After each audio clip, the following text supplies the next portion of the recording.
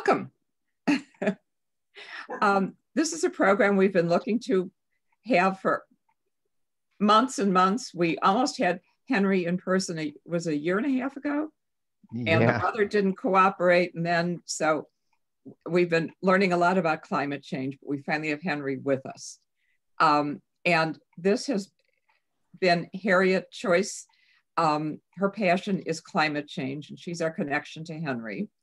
And I'm going to ask Harriet to introduce us, and we'll have plenty of time for questions afterwards.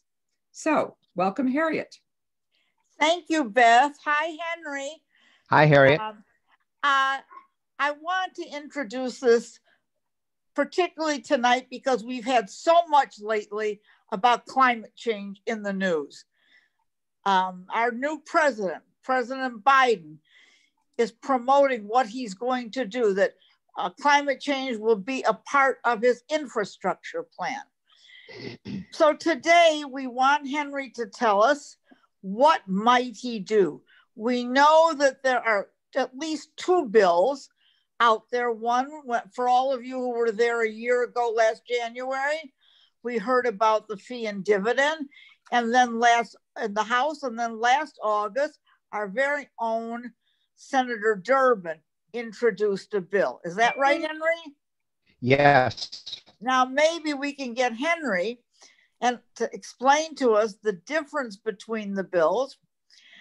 Explain to us will our president consider any kind of carbon fee or the ugly word tax? We know that he wants to do renewable energy. We hear about the electric cars and the wind and the sun and the solar. So, Henry, please tell us what the bills are. Do they have a chance of passing?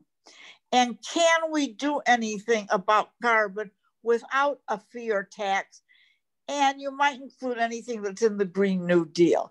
Is that enough of a load to ask you? Harry, you you you never fail to disappoint. Um, and and that was one heck of an introduction. And a lot to unpack in that question there, but I, I got it. And, and thank you very much for that, Harriet, and, and for the introduction. And everyone, it's a pleasure to be here and pleasure to uh, join you. Um, again, I'm Henry, Henry Moss from Citizens Climate Lobby. And um, we will uh, do our very best to give you some of the basics of climate change, what Citizens Climate Lobby is doing about it, maybe what you can do about it. And so we'll cover the basics. We'll take a look at the urgency of climate change, look at um, a couple of the policies that Harriet had mentioned, and uh, talk about how all of us can be part of the solution. So I thought uh, before we get started, and Harriet uh, has really led the charge here, um, to get a couple of burning questions that that you have, and I'm going to write those down. I'll do my best to cover them in the presentation, and uh, if I don't cover them in the presentation, we'll get them in Q&A. But Harriet, since you started trouble here with a, a, a lot of questions, if you would streamline it down to your favorite burning question, I'm going to write that down. What, what's your what's your favorite question there you want me to try to answer? We have two major bills. Can you tell us what they are and what is the difference? All right, you got that. Um, Beth, we've been talking for a year. Do you have a burning question? I think that um, covers it. That one of the, the main gist as we get into advocacy, and I think that covers it. Um, what I didn't do before was to give a little introduction about you and how you got involved in it in Citizens Climate Lobby with your background. But if you want, do two or three sentences. it, well, it's um, whatever you want to do. You you lead it. Okay. Well, um, you've been part of the Citizens Climate Lobby for how many years? Uh, more than I want to admit. About eight. Okay. So you've got lots of experience, and you're gonna and you're you'll roll that into what you're talking about. So yes. go ahead. okay. All right. So advocacy is I take one of your questions, Beth, and uh, the yeah. two major bills. Meryl, I, I, haven't had a chance to meet you. Is Meryl here? Yeah. Hi, Meryl. nice to meet you. Do you have a burning question for me? You have to unmute. There you go. my burning question when you get to carbon fee and so-called dividend. Okay. I have a burning question. Uh, All right, what carbon fee and dividends about or what? No, I understand that. I understand the importance and the positiveness in uh, carbon fee. I don't see how the dividend will hurt. Carbon fee will also cost the poor more than anyone, and the poor will never be able to take advantage of the dividend. The, the dirt poor, we're talking about the poorest people in this country who don't have charge accounts, they don't have bank accounts, they, none of them will receive a stimulus check. Um, and this is not undocumented immigrants. This is people, this is US citizens who are poor, who don't have access to things like a bank account. So okay. So the the impact of the dividend, positive or negative? Uh, no, I, I think that I, I just think it's unrealistic. I don't think I think you're telling people that they're going to get money, but the people who need money aren't going to get it. Okay, all right. Should be taxed for sure.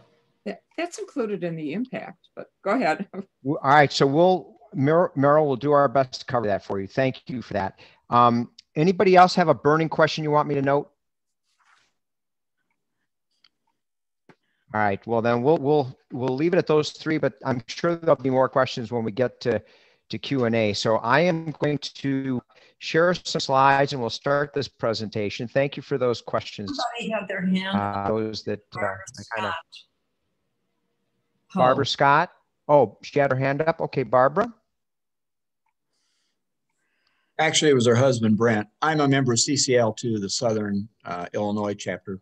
Um, Hi, Brent. I guess my question uh, CCL's goal is to have climate legislation be bipartisan. It just my question would be do you think that's even achievable? Do we have to just keep pushing without Republican uh, involvement?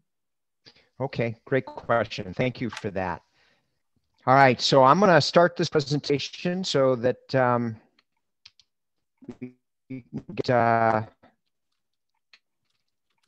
some more questions rated as we get into the. I'm going to take about 20, 25 minutes here, and we'll um, we will give you some more fodder for some more questions. Uh, so let's see if we can get this to work. Everyone should be seeing a um, picture of Capitol building. And um, if you click on the upper right, you can get screen. If not, if you can see the Capitol building and a, maybe a thumbnail of me, then, then that's good enough. Is everybody there? If, you, if you're not, please uh, send a, a chat to Melissa or Beth. They'll help you out. Beth, is, are you hearing any any major technical issues or are we looking pretty good? I think we're looking good. Okay. All right. Well, all right. Well, this this is a picture of our last trip up to DC. Uh, this was uh, obviously before COVID. There were about 1,500 of us. We had about 500 meetings in just one day, working in groups of, of five or six. And uh, um, as Brent can tell you, a CCL member that's part of your group, as well as Norm Kravitz, uh, who I had a chance to, to, to, lobby with years ago. It is absolutely exhilarating to, to sit down, talk with our members of Congress, get their perspective on climate change, do our best to find common ground, and talk about solutions. And, and the solution that Citizens Climate Lobby feels is the best solution is simply putting a price on carbon. So, Citizens Climate Lobby is a nonprofit, nonpartisan volunteer organization that's all about helping the common citizen, that's it's all of us here, develop the self confidence to be able to talk to our members of Congress and tell them what we want. And what we want is a solution to climate change. And again, Citizens Climate Lobby feels the best solution is to simply put a price on carbon. So uh, I've mentioned this, this price on carbon several times. What is it? it, it is really elegant in its simplicity because all it is is just what I said, putting a price on carbon. except it's a slowly rising fee on fossil fuels. So what happens? Fossil fuels, coal, oil, and gas will become increasingly more expensive and less attractive. And then clean energy becomes less expensive and more attractive so that we can push emissions down to safe levels and avert a climate crisis. In essence, that's all it is. Now, there's a few key components that make it work. Ideally, we want bipartisanship. We want Republicans, we want Democrats to get together. For that to happen, it's got to be a free market solution. You've got to give people choice. So if you want to buy fossil fuels, you'll buy fossil fuels. If you want to buy clean energy, you're going to buy clean energy. We're just going to let the price of those products control behavior. It's also got to be revenue neutral. Can't be a tax, can't grow government. So instead, what will happen? Our government will put a carbon fee at the point of extraction of where we get our fossil fuels. So that's a fancy way of, of saying if Exxon is pumping oil out of a wellhead, there will be a carbon fee that will be placed on that oil that represents the cost of the environmental damage that happens when you burn that fossil fuel putting way too much carbon dioxide in the atmosphere, triggering all sorts of very, very expensive extreme weather events. Now, the same thing will happen at the mine shaft where we get coal or the port of entry where we might get foreign oil. Now, all those carbon fees are collected by our government, but not kept.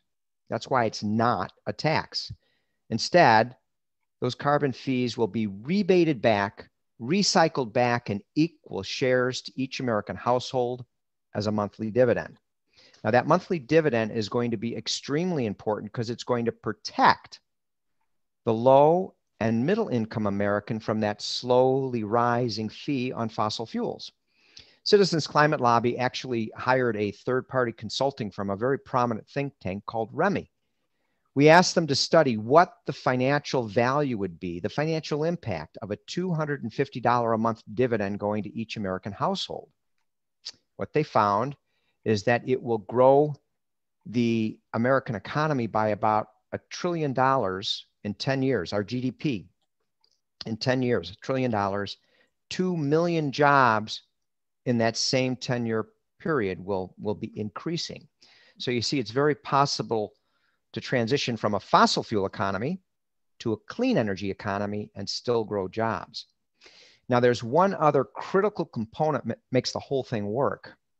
And um, the easiest way to explain it is if we have a, a foreign country that um, is still on fossil fuel and produces products with dirty fossil fuels, cheap, dirty fossil fuels, and tries to send us their products, exporting them to us, we will put a carbon fee border tax on those products, which will make those products non competitive. And that'll be the inspiration for that foreign country to go back to their home country, do their own carbon fee so they can begin to transition to a clean energy economy. And that's what's going to catalyze global cooperation.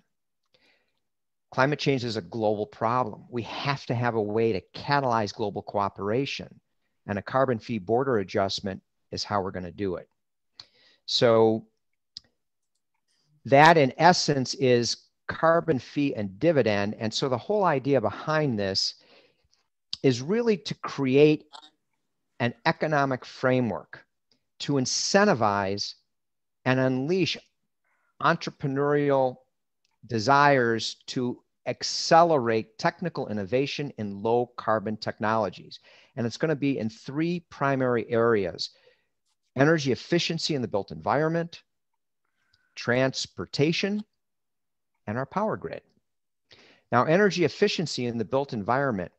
Did you know heating, lighting, and cooling our buildings is 40% of our carbon footprint?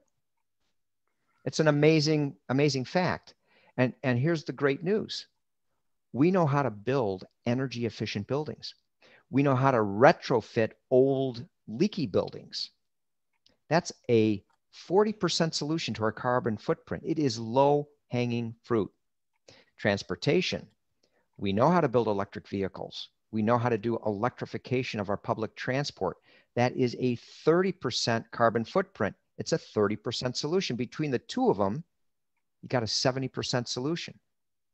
Our power grid, we know how to do renewables. We know how to do wind, solar, geothermal. In fact, we, we've developed all of the technology. We own the patents. We know how to do it. And we're very good with battery storage. And we're coming up with new ideas on different ways to store our energy when the sun's burning bright and the wind's blowing. It's called electrolysis and it creates hydrogen. And there's a whole story there to be told on how we can store our energy when the wind's not blowing and the sun's, uh, sun's not shining. At any rate, the key to, here to remember is that's a 20% of our carbon footprint. So between all three of them, energy efficiency in the built environment, transportation, and our power grid, that's low hanging fruit. And that's a 90% solution to solve our problem. So we can clean our air, clean our water, bring emissions down, have great clean energy jobs for everyone, and a bright future ahead. So remember that when I start telling you about the tipping points, which might create a little anxiety. Here's our two climate uh, leaders, two of the climate leaders. There's more than that, but I'm going to focus on these two gentlemen. Uh, Ted Deutch is a congressman out of Florida, and Senator Durbin, our Illinois owned Senator Durbin. Uh, he is 76, very well might be his last term in office. Maybe he'll run more, but uh, hopefully he'll leave a legacy to, to solve climate change. Both of these gentlemen have put together um, policies that are carbon pricing policies. They are carbon pricing policy leaders in Congress, along with, with others. Uh, Whitehouse being another key one, and Braun. Uh, there's, there's several, but um, let's focus on these two uh, congressmen. Ted Deutch has uh, sponsored the Energy Innovation and Carbon Dividend Act. And let me tell you briefly about it.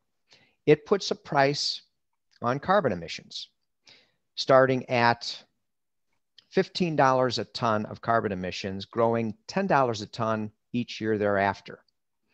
Now, 100% of the revenues collected will go back to the American people as a monthly dividend. So that's very critical because that'll protect the low and middle income American from that slowly rising fee on fossil fuels two thirds of Americans will come out ahead or even with the dividend. That's what all the studies are showing. It will have a carbon fee border adjustment to catalyze global cooperation. This bill is 100% market driven, so Republicans love it. Republicans are all about market based solutions. So, this is the bill that is most likely to get bipartisan support. Right now, there's 40 co-sponsors this Congress. All of them are Democrats. Right now, we don't have any Republicans that have co-sponsored this legislation. So that's the Energy Innovation and Carbon Dividend Act in a nutshell. Now, when it comes to Senator Durbin's bill, the American Clean Future Fund Act, the, the main difference, Harriet, just, and I'm sure you're aware of this, it's more comprehensive, it's more aggressive. It starts at $25 a ton of emissions for the first year out, and it grows by 10, 15, 20, $25 a ton each year thereafter based on emissions reduction and timeline. Now, the distinction is only 75% of the revenues collected are actually given back to the American people. It's means tested, which means that uh, and Merrill, this might uh, address some of your concerns. Those individuals that are making $150, I take it back, $150,000 a year on a joint return get a reduced dividend. Those that make $75 a year with single tax returns get a reduced dividend. And with those reductions, that's how our government will harness 25% of the total revenues. And those revenues that our government keep will be used to kickstart the clean energy economy. So we're not going to leave it to chance. We're going to let our government give seed money to make sure low carbon technologies are developed. 15% of that 25% of revenues that are kept will go into a green bank. The actual name uh, in Durbin's bill is called the Climate Change Finance Corporation. It will be a new agency that will be implemented within the executive branch, and it will give guaranteed loans and grants to those uh, technologies that are the technologies that we want to develop for low carbon emissions. And 10% of that 25% is going to go to help marginalized communities that have suffered the most from climate change. It definitely is focused on environmental justice. It will help communities that are adjacent to uh, refineries, adjacent to coal burning power plants. Toxic uh, sites will be cleaned up. Health issues need to be addressed. And those individuals that are doing fossil fuel jobs will be given training to have the new jobs for clean energy. So Durbin is, again, you can see much more prescriptive, much, much more comprehensive. So really his bill, in essence, is a combination of market-based solution and big hand of government. I like to think of it as soft guardrails to assure that we develop the clean energy industry. Um, I want you to think about the success we've had with vaccine development with COVID. That started from our government providing seed funding to the National Institute of Health. And from those funds, we developed our vaccine for COVID, that life saving vaccine that hopefully we all have on board in our bodies right now, protecting all of us. So we can do the same thing with government research dollars and funding and support for developing the low carbon technologies that we need urgently. We need them as soon as possible. So um, those are the two bills. Those are some of the primary differences. I want to highlight this because I find this picture extremely exciting. This is a picture of the latest, greatest solar power utility plant built in uh, out just outside of Las Vegas. Um, this happened about three, four years ago. It's called Crescent Dune and the technology is fascinating. Um, you have thousands of mirrors that surround this receiving tower, beaming all the sun's energy and light to the top of the tower, which is transferred down the tower to a huge insulated tank that has potassium salts in there, as well as sodium salts in there, that become so hot they mimic lava, which boils water, pushes steam, to drive a generator 24 7. And um, we are truly, when you think about this kind of technology, on the precipice of a new frontier to be a clean energy superpower, really no different than we all can remember when President Kennedy at Rice University threw down the gauntlet that we were going to get a man on the moon in the next 10 years. And we did. The great American ethos of can do, we did. And we got Neil Armstrong on the moon in 1969 we can do it now. We need to do it now. And um, if we don't do it, anybody who's got their mute button off, you tell me, who do you think's gonna lead the charge if America doesn't take world leadership? Who do you think will be leading the charge? Putin. Huh? China. Maybe China, China, absolutely.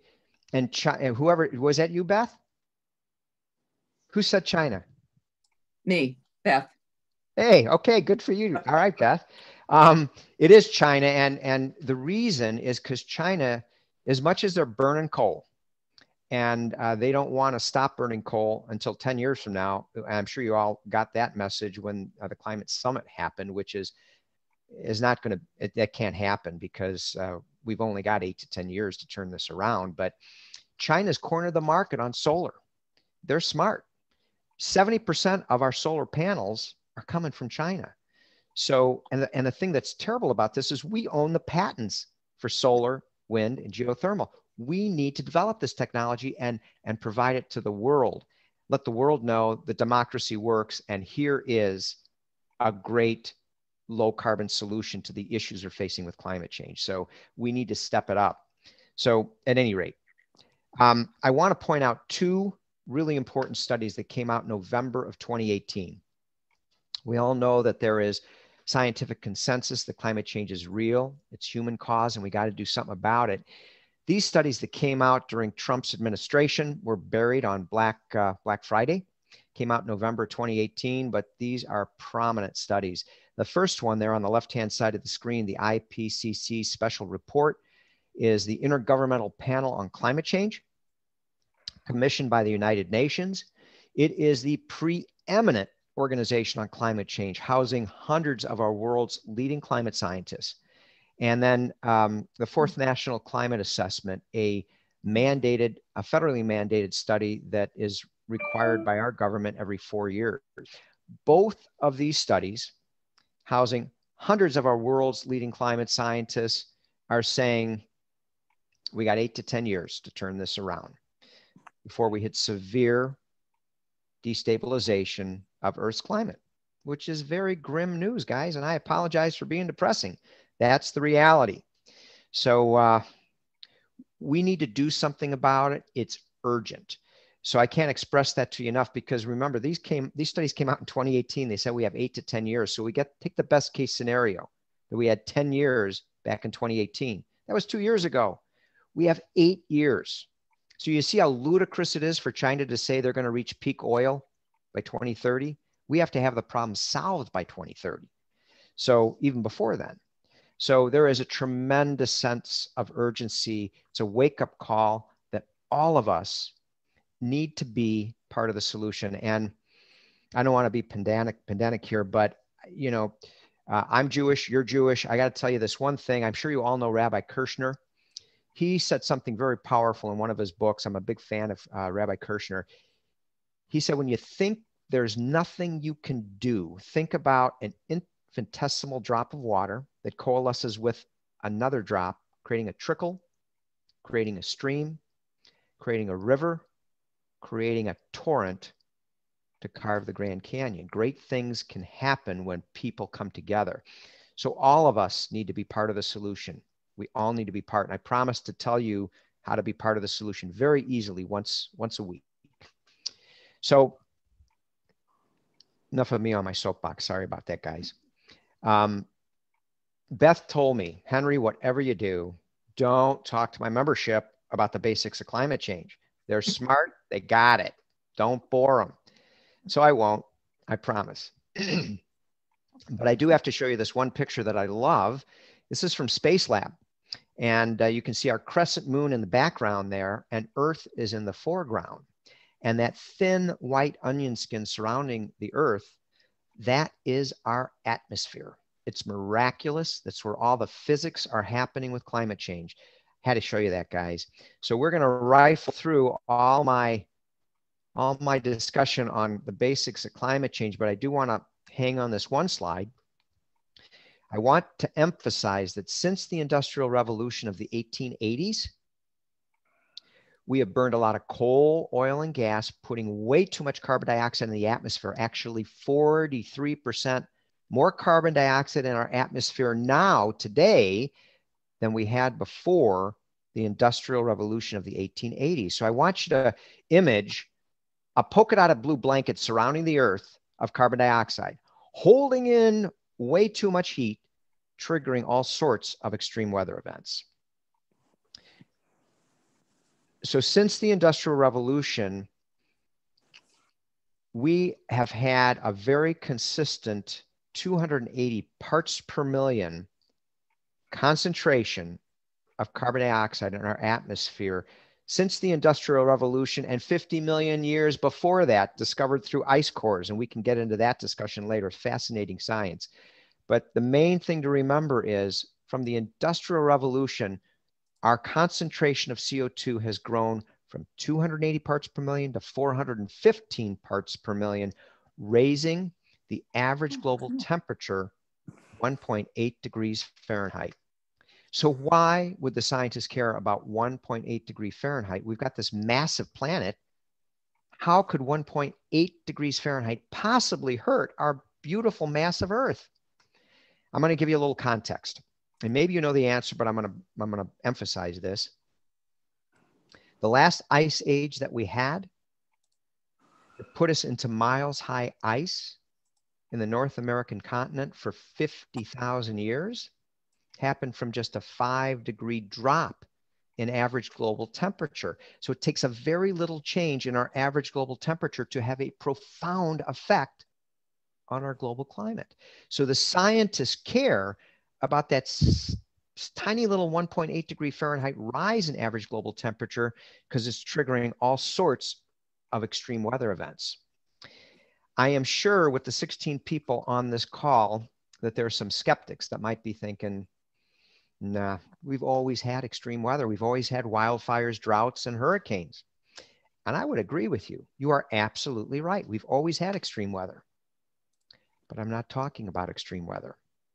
I'm talking about historically unprecedented extreme weather, weather that has never happened before. And I realize we're skeptical maybe in the Midwest because we're actually insulated from the very worst effects of climate change. We don't see sea level rise they have in Miami every year, do we? Or the five or six years of drought that California had, or uh, Typhoon Haiyan that happened in the Philippines, 220 mile per hour winds that ripped through that country and killed 10,000 people destroyed a million homes and put 4 million environmental refugees in the street. We don't see that in Chicago. So it's easy to become, eh, not happening in my backyard. I don't, this is, doesn't apply to me. Oh, but it does. Historically unprecedented extreme weather may not be happening in Chicago, but it's happening all around the world. If you start connecting the dots, historically unprecedented extreme weather, it's the early warning sign of severe destabilization of Earth's climate. Do you know what this picture is? Anybody know? Shout it out. It's the aftermath of what?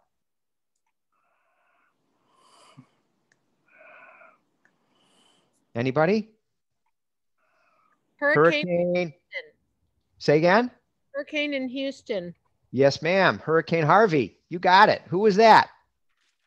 That was Julie, but my husband Jamie is the one that really deserves the credit. We'll give it a Julie Jamie uh, uh, A plus. Yes, Hurricane Harvey, um, and and uh, they got 52 inches of rain dumped on Houston in 48 hours. It never happened before. Never happened. Historically unprecedented. It's directly related to the long-term impact of a warming planet.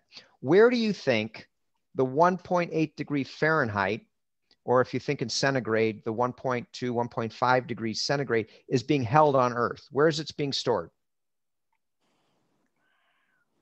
The sky. No. Another guess. The oceans. Yes. Who said that? Kathy. Kathy. Wow, we got some climate aficionados here. I love it. Yes, it's stored in our oceans, a great thermal sink, right? That's where that 1.8 degree is stored. Hurricanes are naturally spawned from warmer ocean waters, but our ocean waters now are warmer and they go deeper. So when Hurricane Harvey hit, it naturally pulled from that warm ocean water, dumping on Houston, right? But it kept pulling and pulling from that warm ocean water, dumping on Houston and pulling and pulling because those ocean waters are warmer and deeper, and it didn't suppress itself until finally, after 48 hours, it hit enough cold water, it was suppressed, but not until after an unprecedented, historically unprecedented amount of water fell on Houston. It's directly related to the long term impact of a warming planet. The oceans have warmed over time. It's not a cycle, it's not weather it's long term warming of our planet. That's climate change. So we are truly in a race, everyone, to stop the burning of fossil fuels. You heard it over the last two days last week with the climate summit. We want to stop the burning of fossil fuels. I always put everything in Fahrenheit, so I hope I'm not causing confusion to what you've been hearing on um, on the news. Um, we definitely don't want to get from 1.5 degrees centigrade to 2 degrees centigrade. I think of it in Fahrenheit, 1.8 degree Fahrenheit to 2.7 degree Fahrenheit, because when we hit 2.7 degree Fahrenheit, we're going to hit tipping points to severe destabilization. So Beth said to me, Henry, I want you to cover the tipping points. My people don't know about the tipping points, so cover it. So I apologize for uh, the anxiety this can be producing, but you know what? We are at the 11th hour. So it's important that you hear it. And um, we'll be short and sweet on this. First tipping point Arctic ice shelf is melting. We've lost over 40% of our Arctic ice shelf since 1979.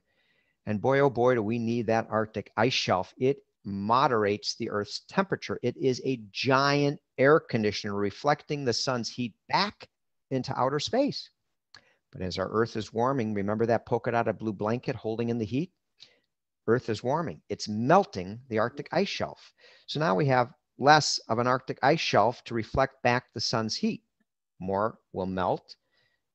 We get even warmer temperatures, more will melt even further. The Arctic ice shelf is less effective at reflecting the sun's heat back. It is a vicious cycle, a terrible chain reaction. They the technical term is a positive feedback loop.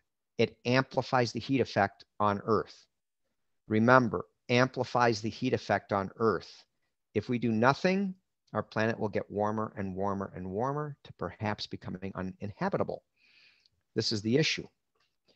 So the next tipping point, the um, permafrost is melting. Now, permafrost is no big deal. It is just frozen soil that goes thousands of feet deep in the Arctic tundra. It's quite unique because it has tons and tons of prehistoric organic matter locked in it, frozen. But as the earth is warming and the permafrost is thawing, so is all that prehistoric organic matter that begins to thaw and decompose without oxygen. That process is called anaerobic decomposition, a fancy way to say the stuff is rotten without oxygen and it off gases methane. Methane is an extraordinarily potent global greenhouse gas, 30 times more potent than CO2. Remember that polka dotted blue blanket of carbon dioxide surrounding the earth holding in more heat? Now imagine a layer of methane around that polka dotted blue blanket, except this is super insulated foam that's surrounding the polka dotted blue blanket, really holding in the heat, really causing some issues with severe destabilization of climate. So, as our Earth is warming, more permafrost is melting. And again, another vicious chain reaction, a positive feedback loop that amplifies the heat effect on Earth. Last tipping point that I'm going to talk to you about today is ocean acidification with all of that extra carbon dioxide in our atmosphere, part of the natural carbon cycling is carbon dioxide will dissolve in our ocean, but we've got an excessive amount dissolving in the ocean, forming carbonic acid. So ocean acidification is first seen with the loss of our coral reefs. We've lost over 50% of our coral reefs around the world. It is the canary in the mine including the Great Barrier Reef of Australia. We've lost a tremendous amount of the coral reefs. They're not lush and beautiful colors teeming with life. They're bleached out white and dead. That is an early warning sign, a canary in the mine. The real issue, though, if you can see that little guy on the right hand side of your screen, does anybody know what that little guy is? Floats in all of the surfaces of our ocean. What is it? I'll see it plankton? Yes. Is that you, Beth? wow, you're scoring big. I owe you a beer. That's good. Yes, phytoplankton. It is an amazing one cell plant that floats in all of the surfaces of our ocean. It is at the beginning of the ocean food web. Herbivores eat the phytoplankton, carnivores eat the herbivores, and you get the magnification of this miraculous ocean food web of which billions of people around our planet depend. But phytoplankton is sensitive to acidification. If we lose the phytoplankton, we lose our ocean food web potentially, and, and billions of people around the planet are at risk for the loss of a major food source. Mm-hmm. But not only that, Phytoplankton, believe it or not, is responsible for 70% of our oxygen production on Earth. Oh my. If we lose the phytoplankton, we lose a valuable source of oxygen supply for our planet.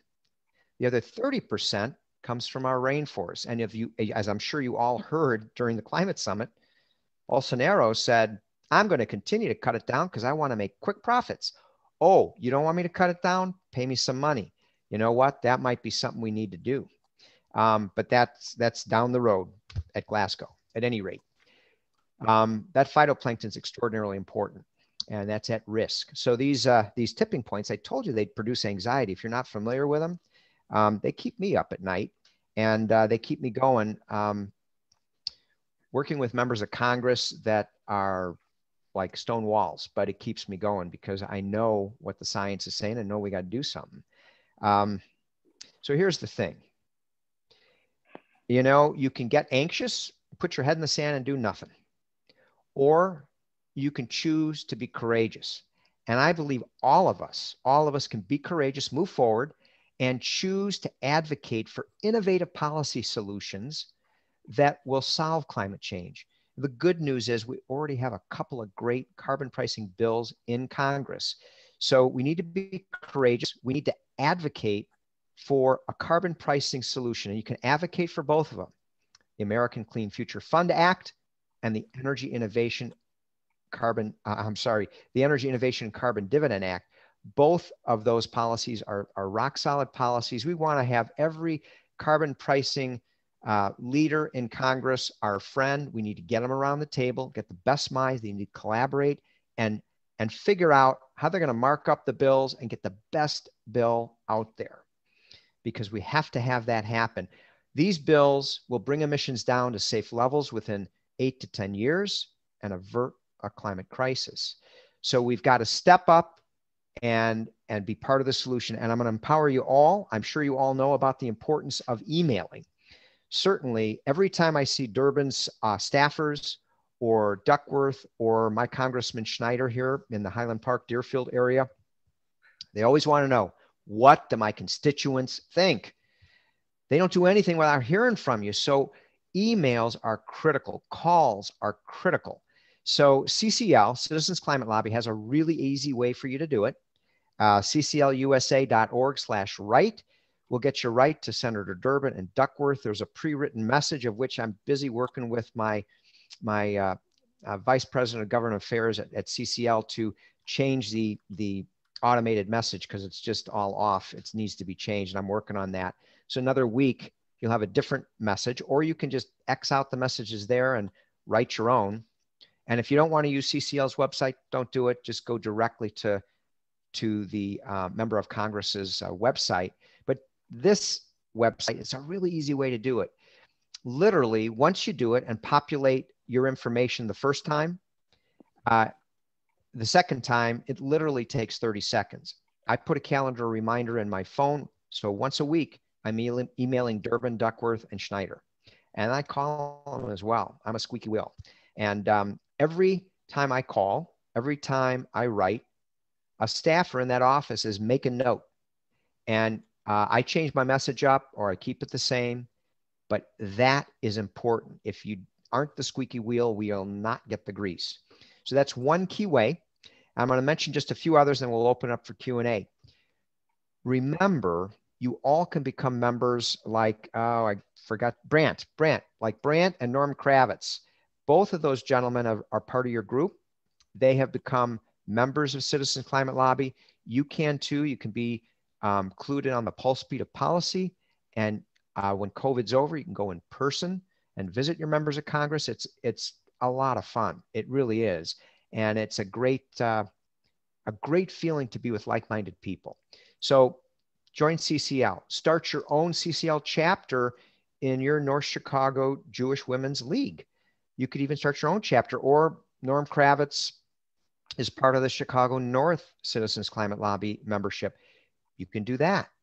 Um, the other thing is, I want to encourage you if you are not offsetting your carbon footprint for heating, lighting, cooling, or building your own driving of your car, your airline miles, there's easy ways to offset your own carbon footprint. Carbonfund.org. Carbonfund.org. I do it every year. It costs me about $350 to offset my entire carbon footprint.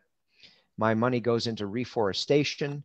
It goes into um, uh, wind and solar farms and regenerative agriculture. So uh, uh, those uh, dollars will be used to propel those industries to offset my carbon footprint. So uh, that's another way you can do it. And then I'm sure everybody knows about 350.org, and their mission is all about divesting. And they've done a great job of having major pension funds divest from the fossil fuel industry. But you can do it personally. I've done it. I used to own an S&P 500 broad-based fund in my retirement account. I have now changed that to Vanguard has a basically an S&P 500 fund, but no fossil fuel companies. It's called ESGV as the symbol, and I own that. And I also own solar and wind indexes to try to vote with my dollars. So divesting from fossil fuels and, and taking some of your investments, if you have them, and putting them into the technologies of the future is another way you can vote with your dollars and make a difference. So um, that's the end of my presentation. I think I might have answered um, most of the questions, and I think I may have generated a few others. So I'm going to stop sharing my screen and um,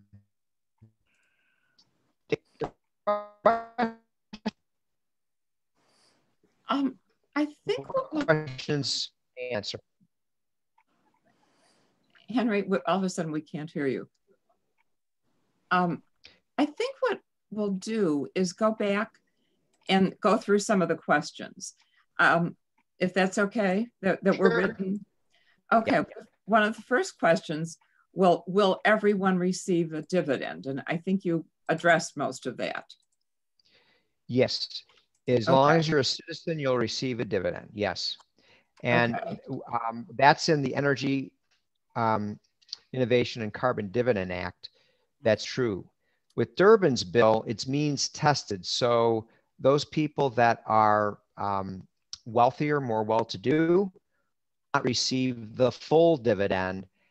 And the reduction of that dividend, those monies will go back to our government to be able to kickstart the clean energy economy by providing grants and guaranteed loans to businesses that are developing low carbon technologies and to help marginalized communities that have suffered. So there's distinctions between the bills. There's a little bit of variation, and that's why it's important to support many of the carbon pricing bills because at the end of the day, we want to get uh, Democratic leadership around the table, hammering out what's going to be the best policy because we got one chance to do this right, guys. Okay, that's interesting. Okay. So the um, Durbin bill, the means testing so that richer people will get less dividend back. Return. Yes. But, okay. But remember that everybody has a chance to be carbon virtuous. So uh, let's say I have a three car garage, two Maseratis, and I have an airplane, and I have a 5,000 square foot house. I can choose to be carbon virtuous. I can choose to have leases. I can have an electric powered plane. I can have a highly insulated, very tight, energy efficient house so that even though I may be getting less of a dividend because I make $5 million a year, my dividend will still proportionally be pretty large because I'm energy efficient. So you do have a chance to still have a decent dividend if you are carbon virtuous. It's just that the low and middle income American typically are more carbon virtuous because we don't have three cars and an airplane and a yacht and two houses. Okay. If that explains it. Yeah. Okay. Thank you. Um, CC said, what's the rationale for doing um, this at the place of extraction versus where it's used? Okay. Um, we are an oil based economy. So everything starts with oil. So if we put a price, a carbon fee at the point of extraction or where we get our oil, our coal, um, then it'll trickle down to everything. So I may be I may be paying more at the gas pump, and I also might be paying more for this shirt because it was produced by a company that was using energy that was not renewable. So it's all going to be reflected in our goods based on going all the way at the base level of where we get our energy because that trickles throughout the economy. Does that explain it? Yeah, to me, Any anyone else? Uh, Well, so uh, uh, this is, uh, I, I, I think that was my question. This is Kathy. So, um, it's a, I guess the question I have is it still doesn't necessarily reduce demand. I mean, we need more than just taxing onto the place where it, whoops, the place where it exists, but it still doesn't reduce demand. Uh, people are still going to be able to pay a dollar more for that shirt or a dollar more for their gas, and they're not going to quit driving a, a gas powered car. So, how do we also shift demand? And that, or is the answer to that where your technology improvements come in?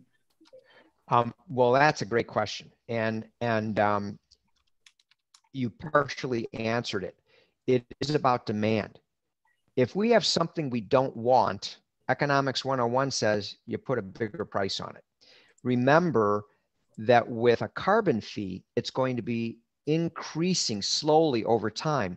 You can't slap, see, it's a very delicate balance that the economists are all arguing about is where do we start the carbon fee?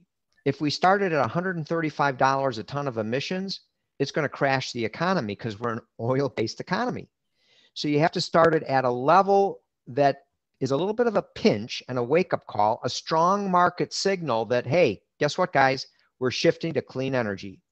Uh oh, maybe I better think about that electric vehicle. Maybe I better insulate my attic. Uh, hmm. Oh, next year, that carbon gets a little bit bigger.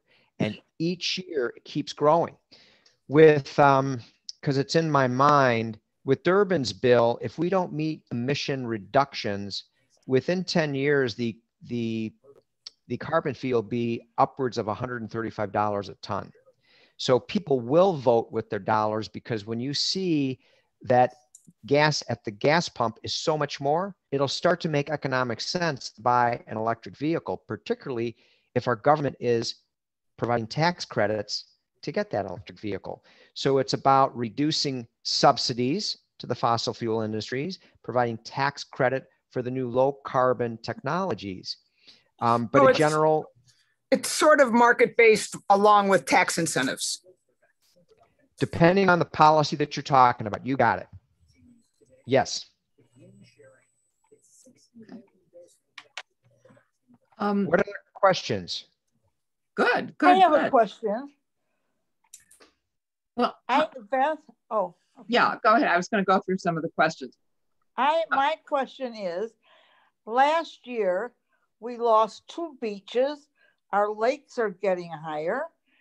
And the air in Chicago was, there was a period where it was worse than the air in LA because of ozone.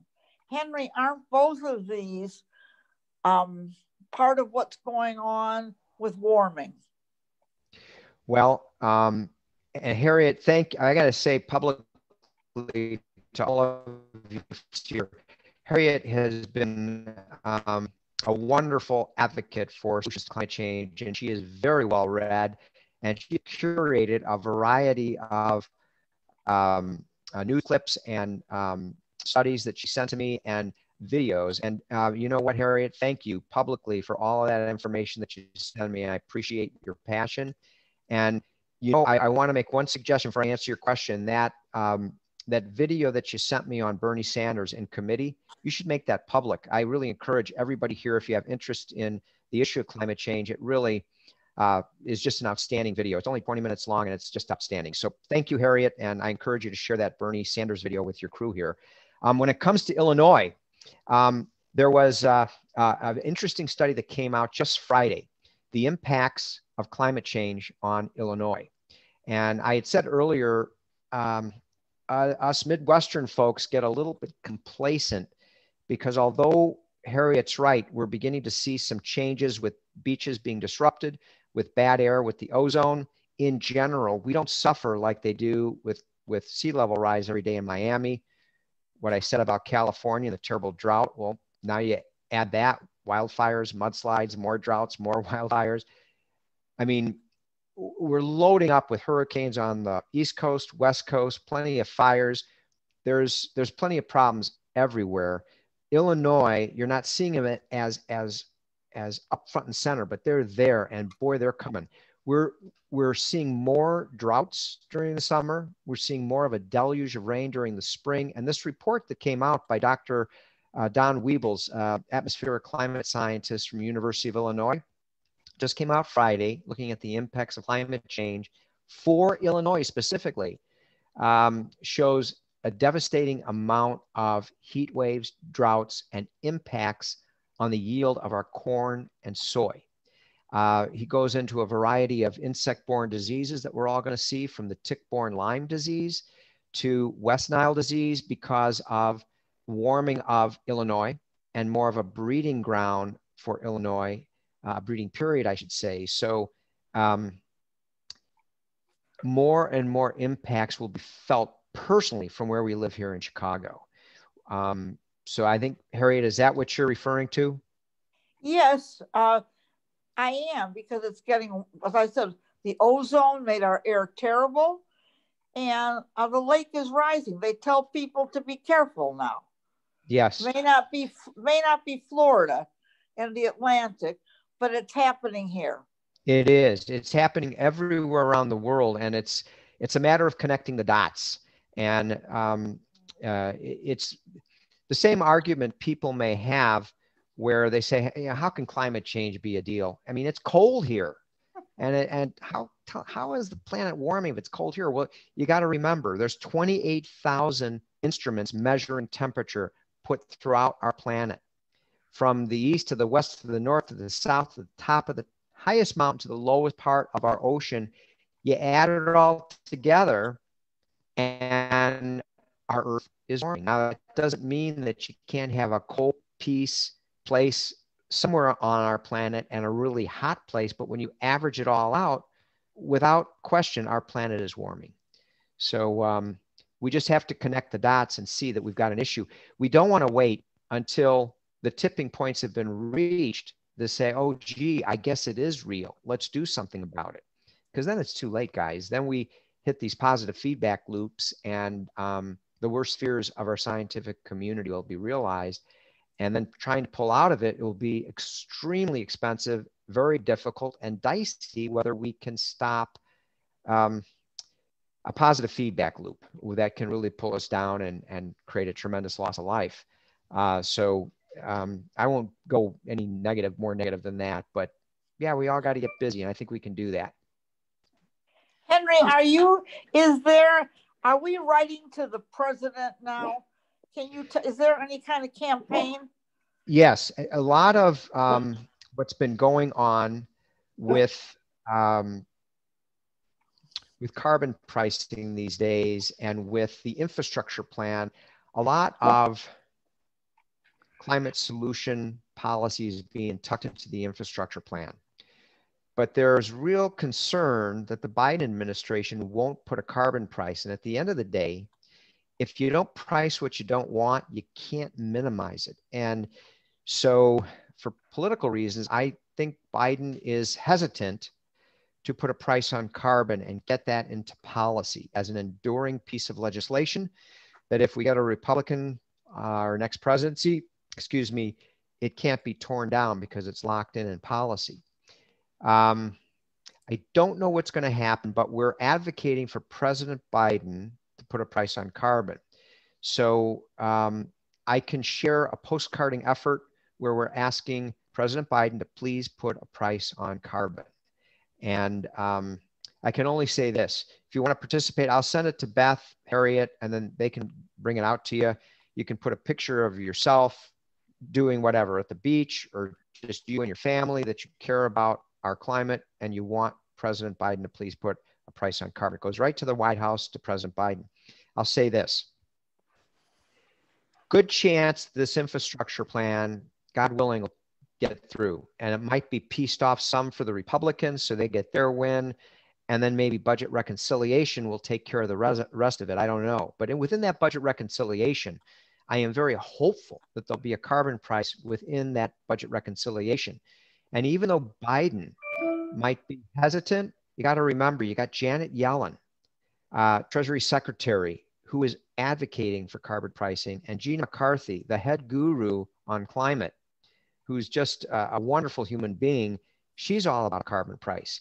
So I got a feeling, you know, Biden said in one of his speeches, timing is everything. Great presidents are all about timing.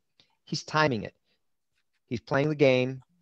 And I hope carbon pricing can be a part of it, but we got to remind him. So the postcarding effort asking Biden, specifically reaching out to him to put a price on carbon will certainly help. So I'll send that information to uh, to Beth and Harriet. And then you guys, if you want to do that, that's another way that you can advocate. Let, let me um, go on here. Yes, I will send in um, information with these lists and the CCL USA to um, the people who've attended this. We will also mention the um, uh, postcard in our next next week's Take Action Today weekly bulletin that goes out. So we'll have a lot of time to do this. Wonderful. Um, I've got a few more questions and then several of them are yours, Merle. So can I go ahead here and I'll get to you. Um, Merle's final written question is, I believe we have more than one chance to do this right. So I want to say, yes, Merle, you're right. That's, that's absolutely right that we have one chance to do it right. Um, one of her, and then you'll, oh, Henry, you'll also include um, bill numbers. Um, Merle says, when can we expect a nationwide distribution system for solar or wind-based power? Well, uh, when can we expect a nationwide? That is a process that will take time. Uh, we have to transition away from fossil fuel to clean energy. That means we need to strip the subsidies to the fossil fuel industry, number one, provide tax credits for solar, wind, and geothermal. And we need to provide government funding to develop the low carbon technologies that will not only develop solar and wind, but be able to effectively store it and keep the green premium to a minimum or none at all. So it actually becomes less expensive than what we're all currently paying. So we're able to appeal to the American people through their wallets. So many of the American people don't don't really go ahead. Go ahead, Meryl. Distributing so there's a lot of wind in the southwestern United States, but there are not many people there.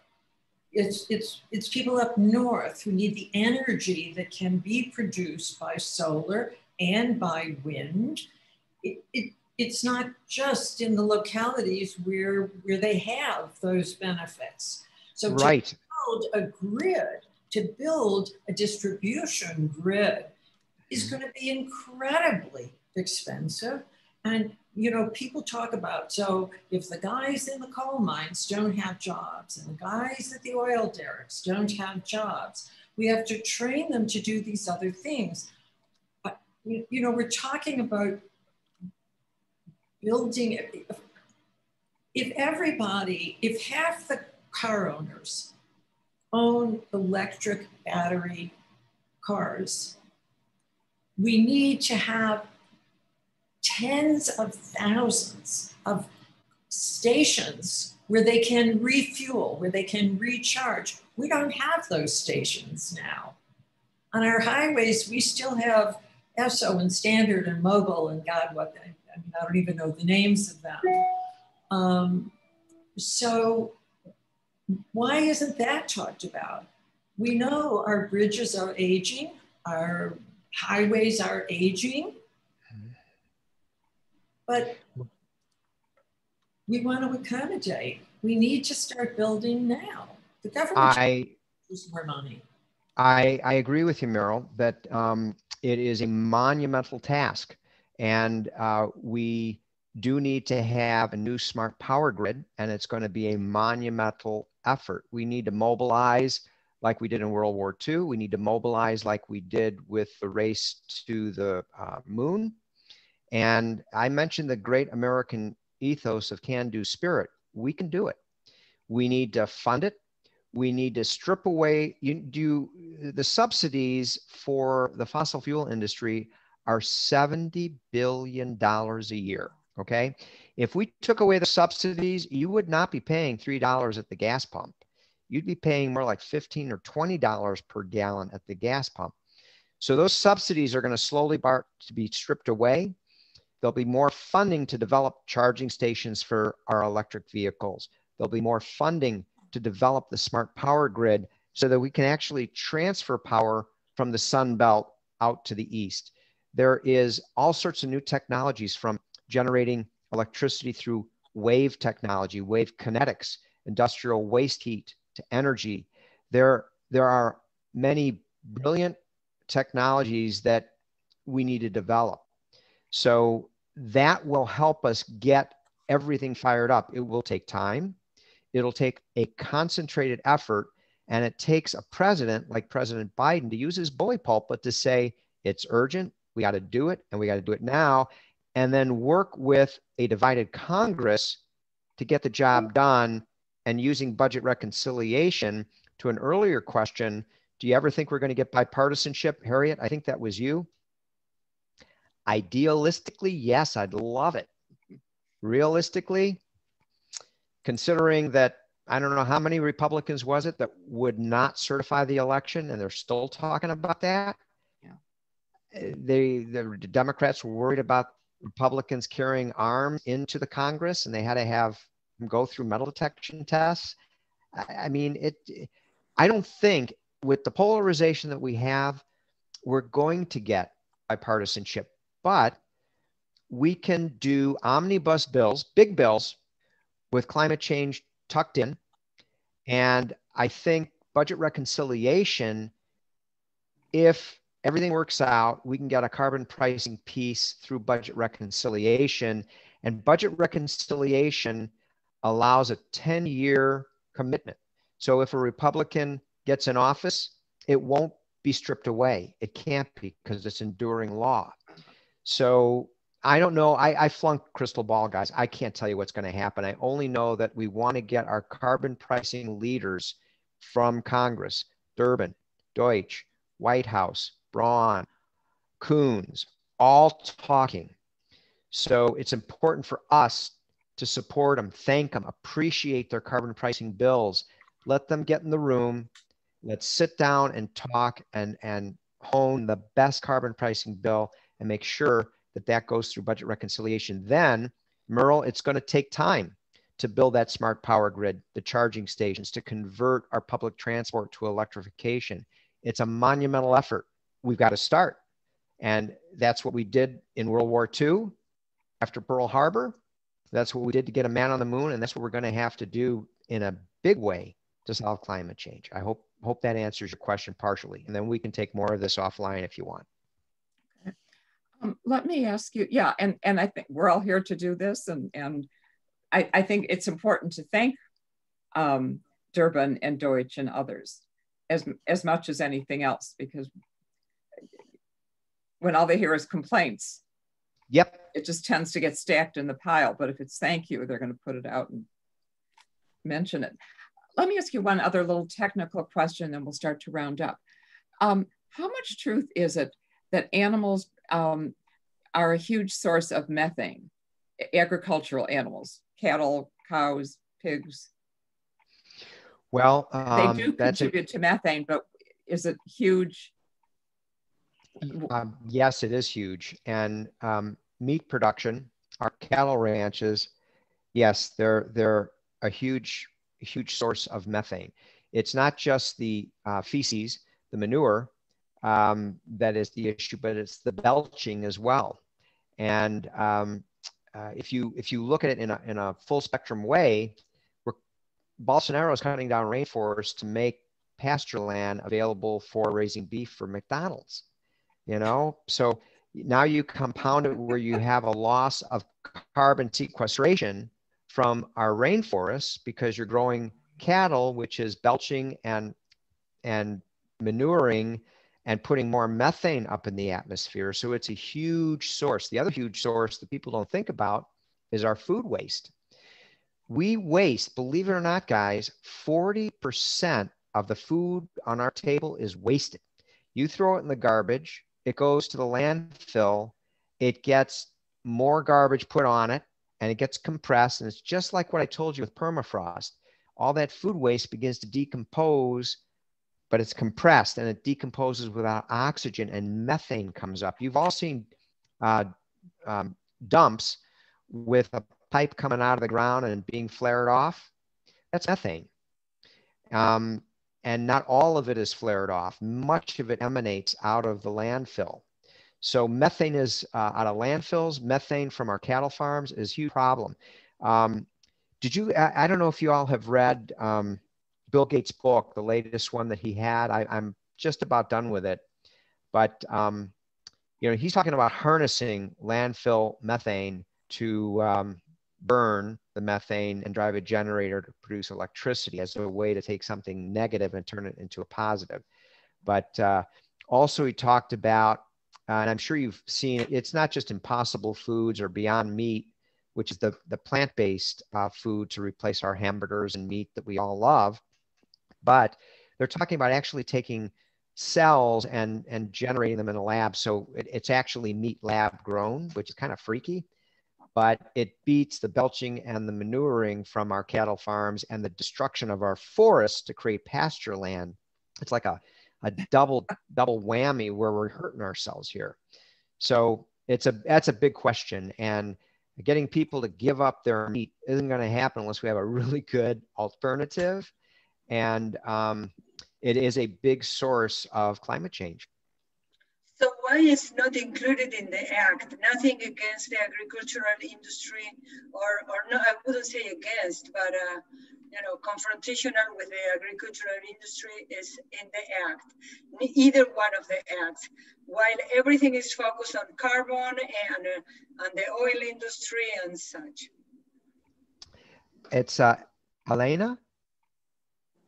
Elena, that's a great question, and it's it's only my my um, an ability to cover everything in every bill. It, I mean, Durbin's bill is 80 pages, a lot of detail in there, and um, uh, bill is pretty long as well.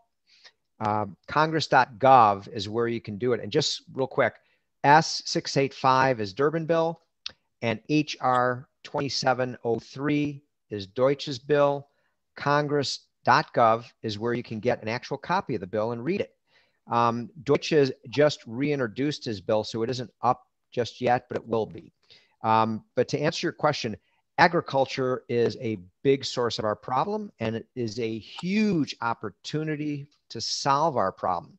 Real quick, um, it is the cattle ranching that definitely is the problem, and our our high salt nitrogen fertilizer is the other problem that actually is great for growing corn and soy. They, they, they put a lot of the synthetic nitrogen down, grows our plants, but it also kills off the microbiology of the soil. So there's a, I mean, there's a whole lecture we could talk just about soil and how soil sequesters carbon through microbial, um, microbial cycles. Um, so regenerative agriculture is the phrase. And it's uh, when you go to Whole Foods and something's grown organically, it's typically grown in a regenerative way. So instead of synthetic nitrogen, we're doing things the old fashioned way. Now, how much we can um, scale this up is something that everybody's working on to figure out how can we develop the fertilizers of the future that don't destroy the microbiology that sequesters carbon from the air, but actually is helping microbial community because soil is a huge carbon sink. We can sequester carbon in our soils if we have an abundant microbiology within the soil that naturally occurs. But our farmlands, the commercial farmlands, have killed off that microbiology. So there's huge pieces in both bills about regenerative agriculture. Um, and there's incentives to develop alternative meat production. So um, there's huge pieces of that in both of the bills. I hope that answers it, Elena. Elena. Thank you. Thank you. Yeah, thank you. And um, Paula Walrich um, just said that she lives in DuPage County and one of the forest preserves is Green Valley Forest Preserve, which used to be a dump. Now they use the methane to power all the forest preserve vehicles. There and I believe about 1,800 homes worth of power. So thank you, Paula.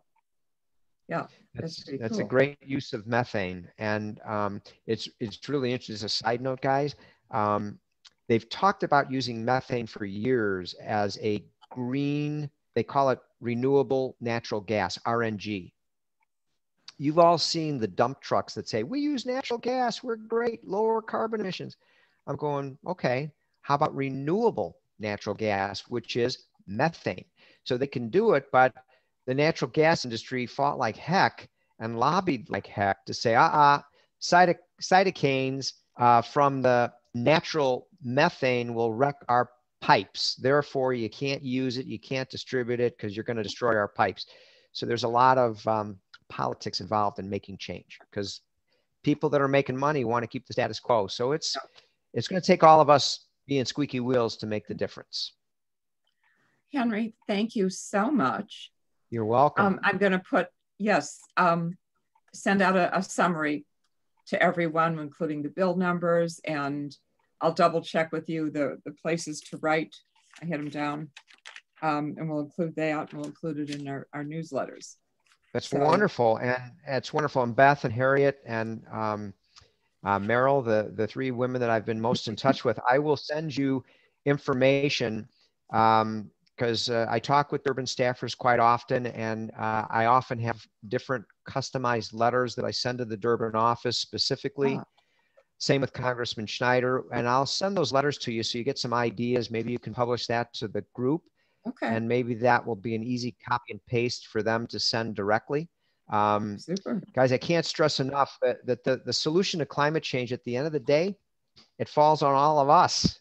It really does. In, in any great social movement, um, whatever it is, it was always about the common citizen being out in the streets, making the calls, doing the emails. It's always about grassroots boots on the ground people like us making the difference. And if you look at it, um, whether it's end of slavery, civil rights, women's rights, gay rights, nuclear disarmament, end of the Vietnam War, and and recently police reform, right?